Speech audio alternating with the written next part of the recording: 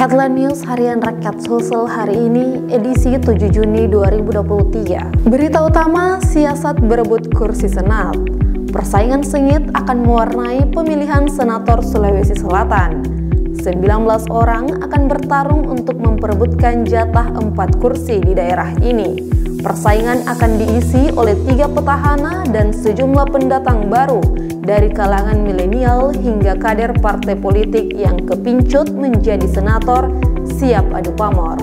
Berita selanjutnya, Dani Pemanto desain monumen MNEC di CPI.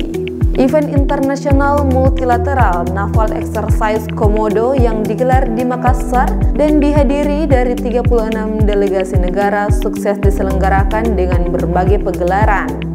Latar belakang sebagai arsitek membuat wali kota Makassar Dani Pemanto merancang sebuah monumen sebagai simbol pencapaian dari MNEC 2023. Monumen tersebut telah ditandatangani oleh negara-negara yang hadir dan Gubernur Sulawesi Selatan Andi Sudirman Sulaiman.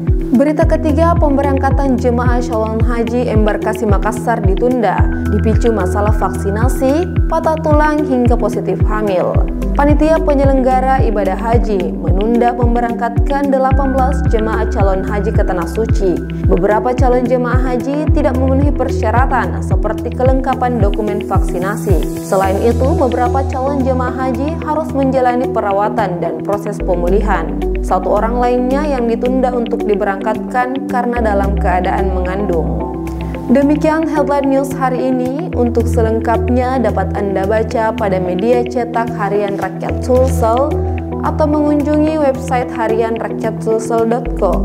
Terima kasih, sampai jumpa dan selamat beraktivitas.